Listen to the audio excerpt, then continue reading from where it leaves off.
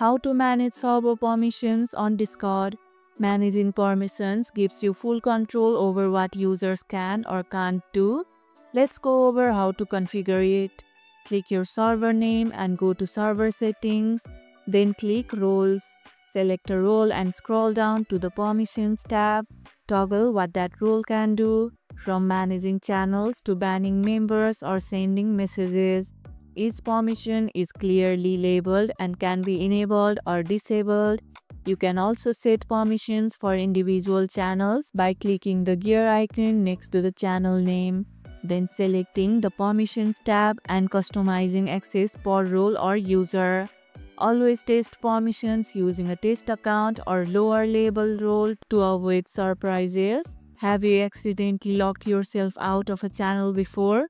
Let me know in the comments below and now your discord server is locked down exactly how you want it. And if this video helped hit the like button share it subscribe and leave a comment. Thanks for watching and i'll see you in the next one